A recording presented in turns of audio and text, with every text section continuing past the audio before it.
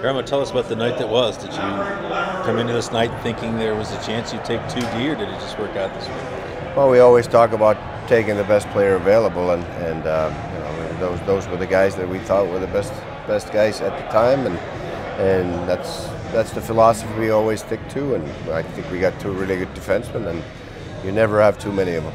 Yeah.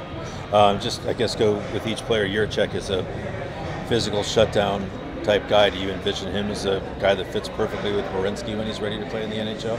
That could be. That's definitely his upside. I mean, and he has some offense to his game too. So, you know, it's pretty much unprecedented what he's done at his age in the Czech league and and played in the men's world championships and played, played good.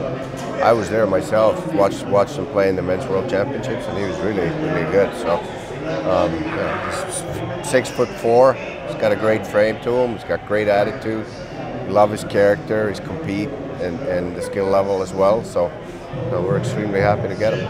Mateychuk, the way that he skates and moves and control a game, is it similar to Sillinger this year? And not players, of course, but just in the sense that you're sort of crossing your fingers and hoping he's still there when you when you come up on the board. Yeah, I, I think that uh, you know some people see him maybe as a small defenseman. We don't at all. He's, he's I don't know if he's 5'11 or 5'10 and a half, but he's thick, he's strong, he's, he, he's competitive.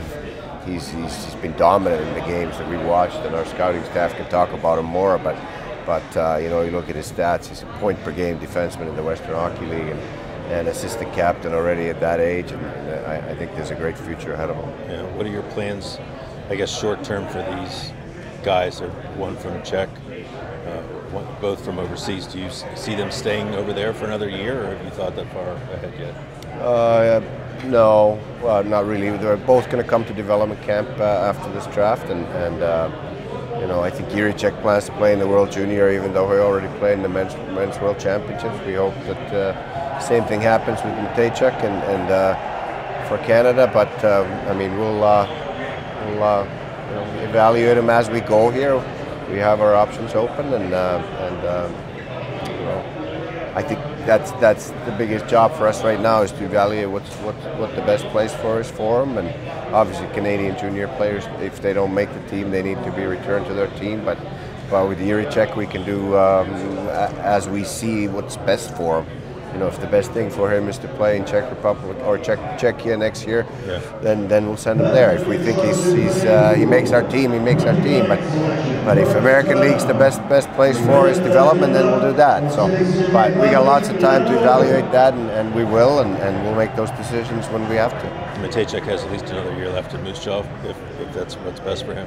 Well, I, th- I, you know, he's he's a uh, straight 04, so yeah. you know, with the junior rules, he has to make our team, and uh, you know, next two years. Otherwise, he needs to be returned. So, um, yeah, that's that's that's not a problem at all.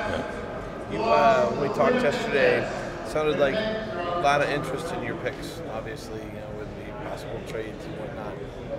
How much debate had to go into it? You know, when it got down to the point where you were it was the fifth pick or whatever.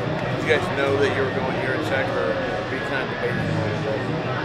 Um, we always view, look at the options, weigh them, and see what the uh, what the best option available in front of us is. Now, one one one conversation that I think convinced us to, to make the picks was that, you know, imagine if we traded 12 pick overall last year and, and Cole Sillinger ends up playing for somebody else, and and we get a player that's yeah, it's a good good NHL player, but might not have the upside that we feel that Cole Sillinger has now for us. So that, that's the uh, the great upside that the young guys have when, when you draft them at the age of 18. They they uh, they can take a huge jump, which is, I think Cole is a perfect example of that. And that's what we hope with these two guys is that uh, you know because they're young and they, they can take those big huge steps in their development in the next couple of years. That there's a there's a high ceiling for their potential. Whereas if we got a player that's already played a couple, two, three years in the NHL, you know, there, there could still be some development, obviously, but but the upside might not be as big. Yeah, you um, mentioned just few minutes ago. Obviously, like a lot of people, when you have good defensemen, you have a lot of them. You can't have enough of them.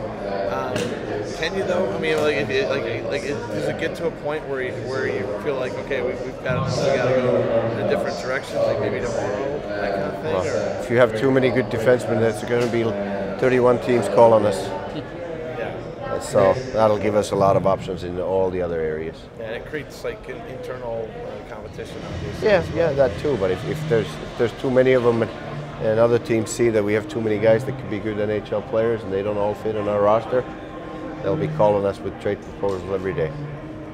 At the end of the day, you have five first round picks over a two year span, four of them top 12 picks. Do you feel pretty good about the young talent you've been able to amass through those picks at this point? I mean, time will tell how it all works out, but that's not very, often do you get to you know put together a group like that. Yeah, yeah, we feel really good. Last year we took two forwards, five and twelve, and, and, and they're high end high end talents. Now we got two really good defensemen, so you know we're filling out our depth chart, and, and we think our goaltending is in good shape, and and we're going to keep improving.